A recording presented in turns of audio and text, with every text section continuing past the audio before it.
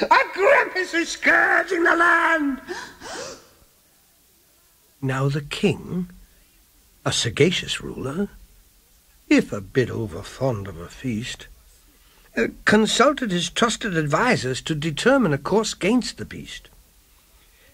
I had thought, said the king, uh, that the Grumpuss was a mythical monster of old. I'm afraid, sire, it's not. It will have to be fought. Indeed, if the truth be told, a Grumpuss is not like a dragon, or rather more like a large surly cat with tremendous paws and gigantic claws and jaws that can crush armor flat. They've wide yellow eyes that watch every move. They live mostly in rocky terrain. It seems that meat is all they eat. They sneeze when confronted with grain.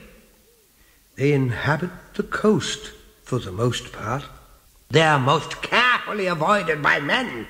According to fable, the beasts are unstable. Worse when defending a den. Tawny gold is their normal coloring, but they turn out as stripes when they're crazed, and then even a knight might resort to flight for their fight, sire, and you'd be amazed. Just imagine a mad, uh, ten-foot tabby